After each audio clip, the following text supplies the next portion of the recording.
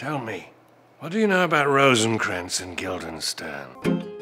Uh, Rosencrantz and Guildenstern, they're uh, two idiots hired to spy on Hamlet. They, um, they die at the end, right?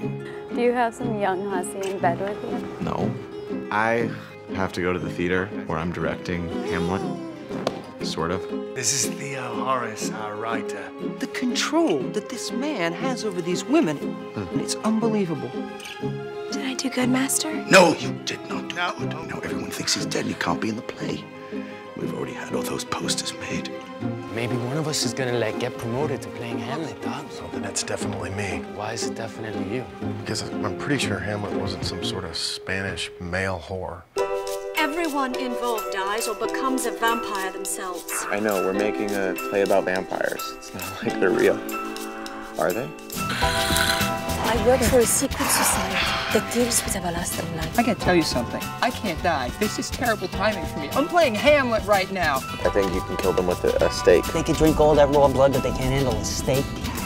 Weird, isn't it? How art imitates life.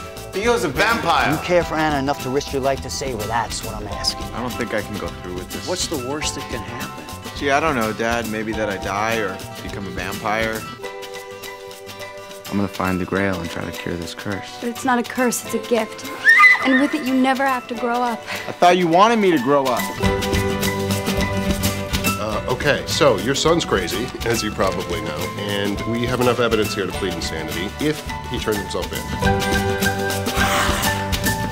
Like, since we're making these modernizations, bro, instead of Rosencrantz and Guildensterns, or what about like Dudenkrantz and Doggenstern? Quick note there's still time to combine this into one character.